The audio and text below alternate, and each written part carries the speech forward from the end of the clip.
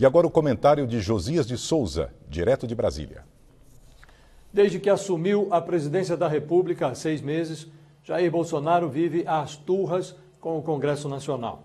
Ele vende a tese segundo a qual o Planalto não é o problema, os congressistas é que são o problema do governo. Pois bem, o Legislativo prepara o troco. A reação virá assim que for aprovada a reforma da Previdência, que começa a ser debatida no plenário da Câmara nesta terça-feira. Num podcast divulgado neste início de semana, o presidente da Câmara, Rodrigo Maia, deu uma ideia do que está por vir. Ele declarou que a provável aprovação da reforma da Previdência será uma vitória do parlamento, não do Planalto, que não conseguiu organizar uma maioria parlamentar. Maia chegou a declarar que o governo, em alguns momentos, atrapalhou.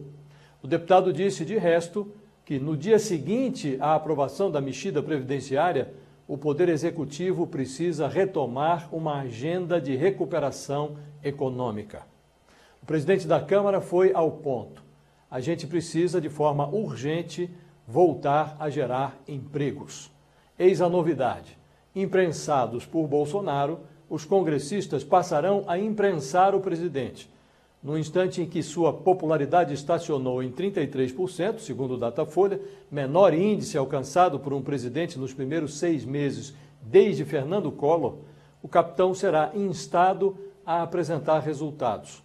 O discurso da herança maldita vai perdendo o prazo de validade. Não podendo culpar o Congresso, restará ao governo dedicar-se à atividade para a qual Bolsonaro foi eleito: trabalhar. Boa noite.